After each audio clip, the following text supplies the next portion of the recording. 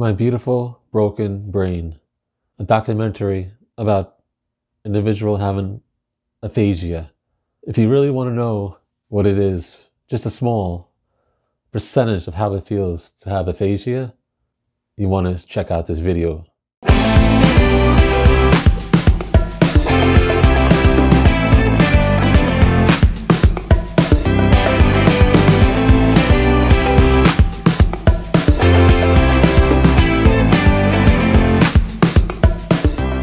Welcome to Beyond Boundaries, Stroke Survivor and Caregiver Complete Guide on the Road to Recovery.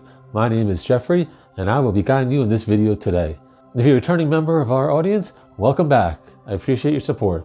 If you're new to this channel, please hit the subscribe button down below so that you'll be notified of future videos. Also, if you need any, if you want to leave any comments down, any comments about the video or anything else, please leave them down in the description uh, or also go to my uh, social medias, also linked down in the description. Uh, this video uh, is going to be about um, a video that I uh, recently uh, saw on Netflix. it's called My Beautiful Broken Brain.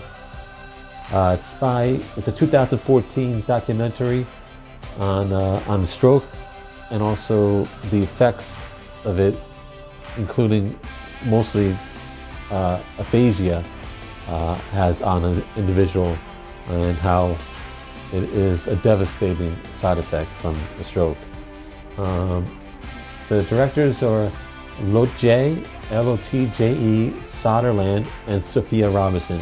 Actually, the person who has uh, aphasia in the video is the one that also is the director, uh, and also along with uh, another individual.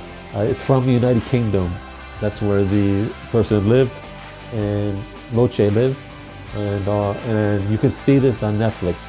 It's actually on Netflix right now. Just go up to uh, just put in My Beautiful Broken Brain, and you can uh, check it out. I would check it out. It's a pretty. Uh, uh, uh, it hits you hard, and just to let you know, you know, my wife has aphasia, and uh, Lotje's aphasia is by no means not even severe. Uh, as, you know, every, it's all severe, but hers, she could still talk, like have a conversation with somebody. Uh, my wife couldn't couldn't uh, talk no more. Uh, so my wife had the severest of aphasia. Uh, Lotje had, you know, a moderate aphasia, and you still, it's still devastating, even with moderate. So think about how my wife had felt with having uh, severe aphasia. I mean, uh, as you, the video is, I mean, I already know everything about aphasia and it's still hitting me hard. So if you're watching it, it's gonna, it's gonna be eye-opening. Like, you, you, I'm just, uh, it, it makes you uh, not take for granted things that you take for granted every day, uh, like just speaking, uh, breathing, uh, being able to comprehend, have a conversation, talk to your family, friends. Uh, all that is taken for granted. And just watch this video and I'm telling you, it's to have a, give it, give it, give a different perspective, give a different view about life and, and priorities uh, in your life. Another, another quote from Lotje is, I feel like a baby, but I'm all grown up. Meaning I just, I, I'm back to square one. You, you can't read, write, uh, comprehend anything. Uh, it's, it's pretty bad. And she used to, before before the stroke, very social and empowered. She was, she had a tough job of like uh, directing, like she was mostly with movies and film and like that. So she had uh, multitask all the time. She had to use, she used to write films for her job. Uh, she had to read and write a lot in her work. She used to read a lot, read lots of books before her stroke. So she was, she knew all this. She had everything. She was very comprehensive. She was working a, a very difficult job reading everything, writing films, like doing everything, and and the stroke and nothing. You, uh, uh, just think about that. This, I, I, can I do everything like that and nothing. Just think that and like that and a snap. Just think about that. Just think about that for a second. I, I, I really, uh, I mean, people just like, oh, sorry. Oh, wow, that's that sucks. Aphasia. Oh, that sucked. I'm sorry a stroke, but really think about it for a second. Think about it. and take your time and, and put yourself in the shoes of the other person for a second. Uh, very difficult for other people, like family or friends, to understand what it feels like to have aphasia and damage to the brain. Exactly. It's very difficult, almost impossible. People don't understand. They just don't understand.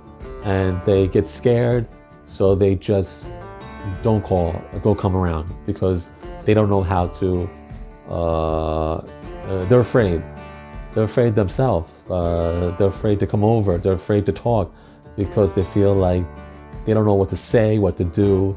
And that is a, a problem that uh, uh, you have to overcome because uh, just you calling or coming over is all they ever want. They, they, they're not, they don't care if you don't say a word. Just you being there is what they want. So that's something that people have to understand too.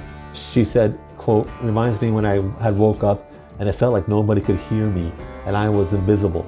How terrifying is that? Exactly. You just, nobody hears you. You can't talk, you can't read, you can't express yourself, you can't understand.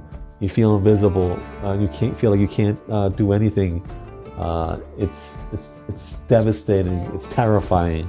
The quote from her is uncomfortable reality, meaning it is very her reality is now and is very uncomfortable and she can't get out of this this this thing that's holding her back this aphasia that's holding her back is so uh, like confining and know and it's hard to get out it's hard to break those uh, chains to to come out and overcome it another quote from her i am different than i was and maybe i'm never going to be the same uh, that's just maybe a reality sometimes, but you always want to have hope that you, you can go forward and do things, become uh, closer to your old self and, uh, and try to get back to where you were. Uh, another quote from her is, feels like a stranger. Exactly. You feel like, like nobody like really knows you or knows what you're going through. Uh, another another quote from her, and I need to be comfortable with the unsubtle differences between who I was before and who I am now. Uh, so she's trying to understand that, um, you know, maybe she's going to have these things that uh, some of them you can't overcome, and you're going to have to live with them. But and but you have to, uh, I guess, adapt and become a new person uh, with these limitations, but uh, you still can live life to a normal, as normal as possible, even with these limitations that you have. Uh, I'm going to give you a lot of quotes right now. Just the experience of continually being defined by what you can no longer do or how uh, this sort of limitations becomes, I think, is devastating. So it's just everything that you but everything is uh, based on what you can't do or your limitations. That's how you're looked at. That's how you're treated, uh, and it gets to you after a while. It's gonna be devastating for your your mental, just your overall uh, way uh, life, living life. Uh, it can be a very heavy burden on you if people just everybody just keep looking at you for what you don't have or what you are limited with. Uh, it can be very uh, uh, disheartening. Um, find the things you can do good or are getting better at and focus in on that. So focus in on the good, uh, what you're getting better at, and not the things that uh, you seem to not be able to overcome, but focus things that you're getting better at. Uh, another quote I learned that I am strong, but I also accepted my vulnerability. Exactly. So you're still strong, but you're still vulnerable because you still have things that are that remind you of the stroke, uh, your limitations, or anything that uh, uh, because of the stroke that you can't do no more. But you are, you have to realize you are, uh, you know, you have those things, but but you are strong and you can get past this and you can live a normal life.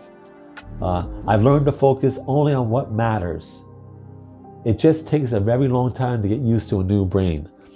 Exactly. So uh, you focus in on anything that matters that's going to help you in your life.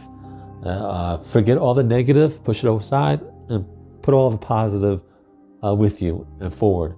and also learn to live with who you are. Uh, be comfortable in your own skin, as they say, um, because uh, without it, it's going to be a fight. You're going to keep fighting yourself. You got to learn to keep going, keep trying to get better at whatever you can, but learn to live with what you have and make it the best possible situation you can. I don't need to return to my old life. Exactly. This is your new life. You have to say, forget the old life, forget whatever else. This is me. This is what I am now. This is who I'm. Uh, I. This is who I want to be because I have. Uh, I am. I am. I have made so much progress. I have gained so much knowledge, and I can live my life as I am now. And I don't care if there's some limitations. Uh, that's for if people have a problem with that. That's that's that's their problem. I'm living my life. This is my life. This is my new life, and I'm going to make the best out of it. This is a new existence, a new dynamic where I wasn't defined by my limitations, but rather about endless possibilities.